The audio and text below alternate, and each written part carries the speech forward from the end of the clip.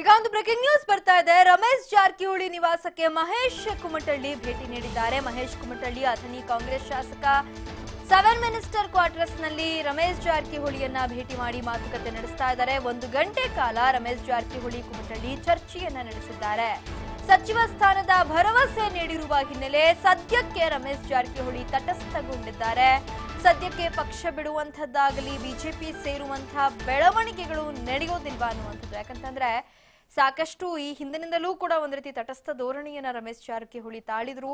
ಆದ್ರೆ ಪಕ್ಷ ಬಿಡುವಂತ ಸೂಚನೆಯನ್ನ ನೀಡಿದ್ರು, ರಾಜೀನಾಮೆ ಕೊಡೋ ಮಾತುಗಳನ್ನ ಆಡಿದ್ರು. ಅದಾದ ನಂತರದಲ್ಲಿ ಎಲ್ಲೋ ಒಂದ್ ಕಡೆ ತಟಸ್ಥರಾದಂತೆ ಕಂಡು ಬರ್ತಾ ಇದ್ದಾರೆ. ಮಹೇಶ್ ಕುಮಟಳ್ಳಿ ಸಾಕಷ್ಟು ಬಾರಿ ರಮೇಶ್ ಜಾರಕಿಹೊಳಿ ಅವರನ್ನ ಭೇಟಿ ಮಾಡಿ ಅವರೊಂದಿಗೆ ಮಾತುಕತೆಯನ್ನ ನಡೆಸ್ತಾ ಇದ್ದಾರೆ. ಹಾಗಾಗಿ ಸಚಿವ ಸ್ಥಾನ ನೀಡೋ ಭರವಸೆ ಹಿನ್ನೆಲೆ ರಮೇಶ್ ಜಾರಕಿಹೊಳಿ ತಟಸ್ಥರಾಗಿದ್ದಾರಾ ಅನ್ನುವಂಥದ್ದನ್ನ ಕೂಡ ಇಲ್ಲಿ ನೋಡ್ಬೇಕಾಗತ್ತೆ.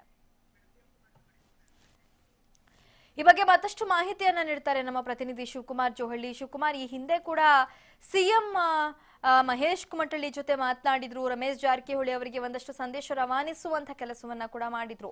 ಸೊ ಎಲ್ಲೋ ಅದು ಫಲಪ್ರದವಾದಂತೆ ಕಂಡು ಬರ್ತಾ ಇದೆಯಾ? ಸಚಿವ ಸ್ಥಾನ ಸಿಗೋ ಭರವಸೆಯ ಹಿನ್ನೆಲೆ ರಮೇಶ್ ಜಾರಕಿಹೊಳಿ ಪಕ್ಷ ಬಿಡೋ ತೀರ್ಮಾನವನ್ನ ಕೈಬಿಟ್ಟಿದ್ದಾರಾ? ಹೇಗೆ ಅಂತ?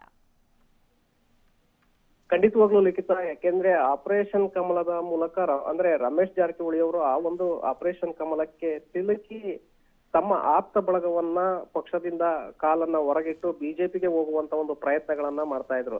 ಆದ್ರೆ ಇದೀಗ ಒಂದು ಆಪರೇಷನ್ ಕಮಲ ಕೂಡ ಎಲ್ಲ ಒಂದ್ ಕಡೆ ಹಿನ್ನಡೆ ಆಗ್ತಾ ಇದೆಯಾ? ರಮೇಶ್ ಜಾರಕಿಹೊಳಿ ಅವರು ಮನಸ್ಸನ್ನ ಬದಲಾಯಿಸಿದಾರಾ ಅನ್ನುವಂಥದ್ದು ಈಗ ಕಂಡು ಬರ್ತಾ ಇರುವಂತದ್ದು ಯಾಕೆಂದ್ರೆ ತೆವೆ ಬೆಂಗಳೂರಿನಲ್ಲೇ ಉಳ್ಕೊಂಡಿದ್ದಾರೆ ರಮೇಶ್ ಜಾರಕಿಹೊಳಿ ಅವರು. ಜೊತೆಗೆ ಇವತ್ತು ಮಹೇಶ್ ಕುಮಟಳ್ಳಿ ಅವರು ಕೂಡ ಅವರನ್ನ ಭೇಟಿ ಮಾಡಿದ್ರು. ಆದ್ರೆ ಅವರು ಈಗ ಎಲ್ಲೋ ಒಂದು ಕಡೆ ತಟಸ್ಥರಾಗಿರುವಂತೆ ಕಂಡು ಬರ್ತಾ ಇದೆ. ಸದ್ಯಕ್ಕೆ ಯಾವುದೇ ರೀತಿಯಾದಂತಹ ಒಂದು ತೀರ್ಮಾನಗಳನ್ನ ತೆಗೆದುಕೊಳ್ಳೋದು ಬೇಡ ಅನ್ನುವಂತಹ ಒಂದು ನಿರ್ಧಾರಕ್ಕೆ ಬಂದಿದ್ದಾರೆ ಅನ್ನುವಂತ ಒಂದು ಮಾಹಿತಿ ಇದೆ. ಜೊತೆಗೆ ಸಿಎಂ ಅವರು ಕೂಡ ಸಚಿವ ಸ್ಥಾನದ ಒಂದು ಭರವಸೆಯನ್ನ ಕೊಟ್ಟ ಬಳಿಕ ರಮೇಶ್ ಜಾರಕಿಹೊಳಿ ಅವರು ತಟಸ್ಥರಾದ್ರ? ಹೀಗಾಗಿಯೇ ಅವರು ಮತ್ತೆ ಬಿಜೆಪಿ ಆಪರೇಷನ್ ಕಮಲಕ್ಕೆ ಚಾಲನೆಯನ್ನ ಕೊಡದೆ ತಟಸ್ಥ ಸರ್ಕಾರದಲ್ಲೇ ಉಳಿಯುವಂತ ಒಂದು ಪ್ರಯತ್ನವನ್ನ ನಡೆಸಿದ್ದಾರ ಅನ್ನುವಂಥದ್ದನ್ನು ಕೂಡ ನಾವು ಗಮನಿಸಬೇಕಾಗತ್ತೆ. ಆದ್ರೆ ಸದ್ಯಕ್ಕೆ ಯಾವುದೇ ರೀತಿಯಾದಂತ ಒಂದು ಆಪರೇಷನ್ ಕಮಲದ ಬೆಳವಣಿಗೆಗಳು ನಡೀತಾ ಇಲ್ಲ. ಮಹೇಶ್ ಕುಮಟಳ್ಳಿ ಅವರು ಕೂಡ ಅದನ್ನೇ ಹೇಳಿದ್ರು. ನಾವು ಸಚಿವ ಸ್ಥಾನಕ್ಕೆ ಏನು ಬೇಡಿಕೆಯನ್ನ ಇಟ್ಟಿಲ್ಲ. ನಾವು ಸರ್ಕಾರದ ಜೊತೆನೇ ಇದ್ದೇವೆ. ರಮೇಶ್ ಜಾರಕಿಹೊಳಿ ಅವರು ಕೂಡ ಪಕ್ಷದಲ್ಲೇ ಮುಂದುವರಿತಾರೆ ಅನ್ನುವಂತ ಒಂದು ಮಾತನ್ನು ಕೂಡ ಈಗ ಈಗಷ್ಟೇ ಅವರು ಕೂಡ ಹೇಳಿದ್ದಾರೆ ಲಿಖಿತ ಸೊ ಹೀಗಾಗಿ ಆಪರೇಷನ್ ಕಮಲ ಸದ್ಯಕ್ಕೆ ತಟಸ್ಥವಾದಂತೆ ಕಾಣ್ತಾ ಇದೆ. ಓಕೆ ಶಿವಕುಮಾರ್, ಇದನ್ನ ಹೊರತುಪಡಿಸಿದ್ರೆ ಕಾಂಗ್ರೆಸ್ನಲ್ಲೂ ಕೂಡ ಸಚಿವ ಸಂಪುಟ ವಿಸ್ತರಣೆಗೆ ಸಂಬಂಧಪಟ್ಟಂತೆ ಸಾಕಷ್ಟು ಬೆಳವಣಿಗೆಗಳಾಗ್ತಾ ಇದೆ. ಸೊ ಹಾಗಿದ್ರೆ ಸಚಿವ ಸ್ಥಾನ ಸಿಗೋ ಹಿನ್ನೆಲೆಯಲ್ಲಿ ಈ ತೀರ್ಮಾನವನ್ನ ರಮೇಶ್ ಜಾರಕಿಹೊಳಿ ಕೈಬಿಟ್ಟಿದ್ದಾರಾ? ಮತ್ತೆ ಮುಖಂಡರೊಂದಿಗೆ ಇದ್ರ ಬಗ್ಗೆ ಏನಾದ್ರೂ ಮಾತನಾಡುವಂತ ಸಾಧ್ಯತೆಗಳಿದ್ಯಾ ಹೇಗೆ ಅಂತ?